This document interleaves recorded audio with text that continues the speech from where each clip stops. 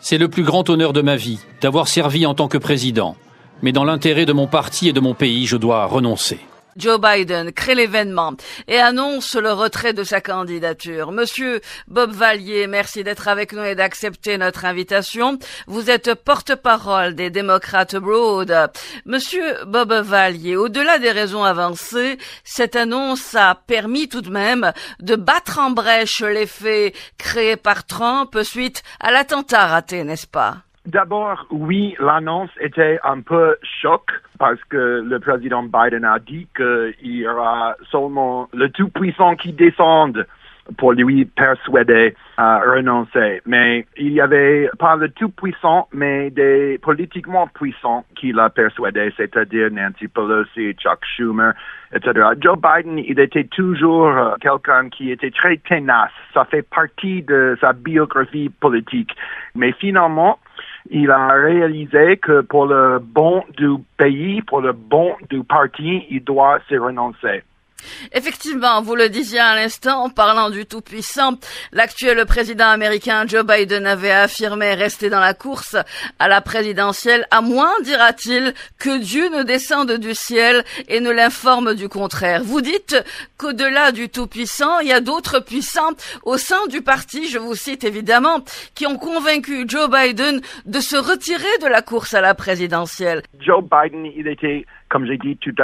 Quelqu'un qui était toujours très tenace et têtu, mais aussi un homme de conscience. Il est quelqu'un qui a fait euh, cinq euh, décennies en service public, quelqu'un qui a réussi dans la politique parce qu'il écoute. Il entend, il empathise. Et finalement, il a écouté, il a entendu. Il a entendu que le parti était inquiété et que c'est peut-être mieux de passer le flambeau. Et en conséquence de ça, on a vu une énorme vague d'enthousiasme à partir du moment de l'annonce et l'endossement de Kamala Harris. Enthousiasme euh, activiste, enthousiasme finance aussi parce que Kamala a mis 150 euh, millions de dollars dans le mhm. compte de, campagne auprès de 48 heures. Donc ça, c'est un signe de l'enthousiasme des voteurs américains. 100 millions de dollars en moins ou à peine 48 heures pour Kamala Harris. Il faut tout de même préciser, monsieur Bob Vallier, pour nos auditeurs qui nous suivent, que il n'est pas dit qu'elle sera candidate à la présidentielle et qu'il y a tout de même la convention du parti en août prochain qui désignera le candidat démocrate pour faire face à Donald Trump. C'est tout à fait juste. C'est un parti des règles. Et les règles disent que la comité doit se réunir, qui se tiendra aujourd'hui même, pour euh, clarifier euh, le chemin vers la nomination. En ce moment, elle est la nominée présomptive et il n'y a pas d'autres possibilités sur l'horizon. Donc, tous les grands ténors du Parti démocrate ont dit qu'ils vont pas faire face à elle pour la nomination. C'est-à-dire, on est en train de s'unifier derrière elle mais on a parlé d'une liste très impressionnante des possibilités, y compris le gouverneur de Michigan, Gretchen Whitmer, le gouverneur de Illinois, J.B. Pritzker, le gouverneur de Pennsylvanie, um, Josh Shapiro. Ça, c'était des candidats soi-disant présidentiables. Mais comme j'ai dit tout à l'heure, personne ne va faire face à Kamala Harris mais ils sont possibles pour euh, le vice-président. Ça, c'est la prochaine nouvelle qu'on attend. Et la décision pour le vice-président, c'est elle qui va le prendre et présenter son choix à la convention à Chicago. Et à Chicago, les délégués vont euh, voter oui ou non.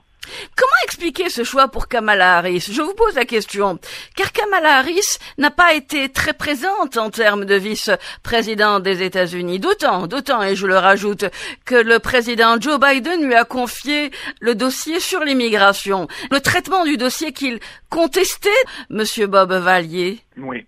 Je ne dirais pas qu'elle n'était pas présente. C'est vrai qu'elle n'était pas devant les caméras constamment, mais elle était très présente dans le arrière-plan. Elle était chargée, comme vous avez dit, avec plusieurs dossiers importants, y compris l'immigration, mais aussi des dossiers internationaux Elle a mené des délégations américaines à plusieurs conférences internationales portant sur le climat, euh, l'échange des biens, la sécurité, le cyberterrorisme, etc. Donc, elle était très présente sur le plan international.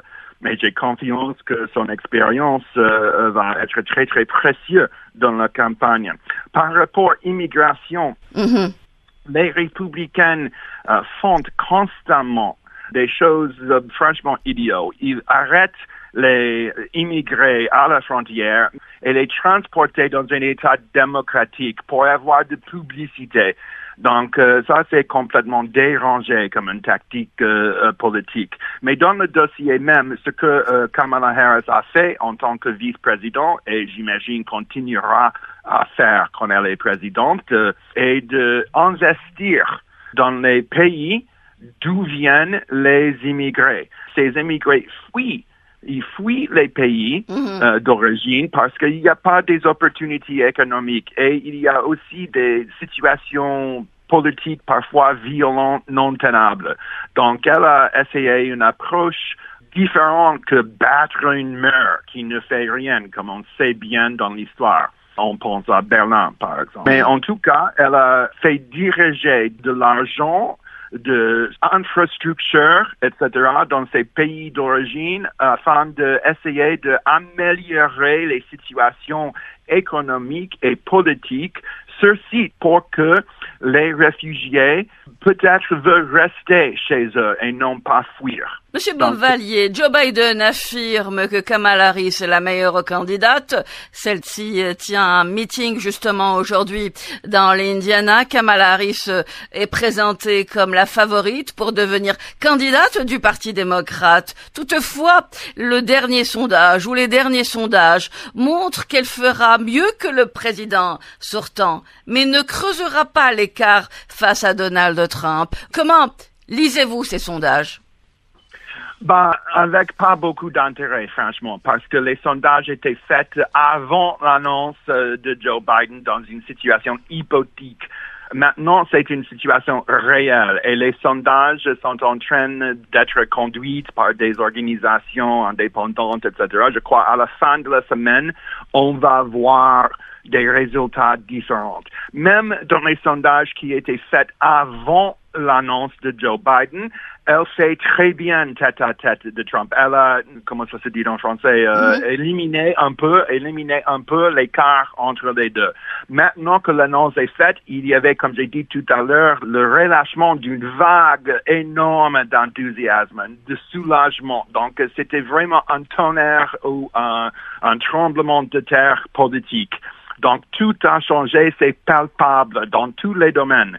Donc, euh, j'imagine euh, à la fin de la semaine, les sondages qui sont en train d'être faits en ce moment vont nous présenter avec des résultats différents qui indiqueront que Kamala va absolument battre euh, Donald Trump en novembre. Permettez-moi de vous poser cette question. Nous savons que les États-Unis comptent une société très puritaine, c'est quelque chose que l'on ne peut pas écarter.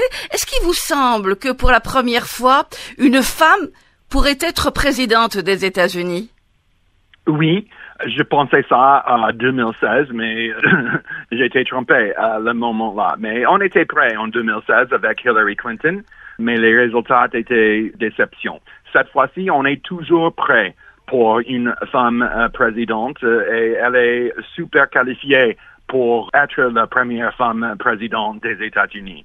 Je dirais aussi, il y a une vaste majorité silencieuse d'Américaines. Il y a peut-être 15% des Américains qui se prononcent pas sur l'élection parce que ils étaient un peu sceptiques, ils étaient un peu hésitants, ils veulent voter démocrate parce qu'il ne veut pas du tout voter pour Trump. Mais il était hésitant à, déclarer leur soutien pour Joe Biden pour les raisons on sait très bien à ce point-ci.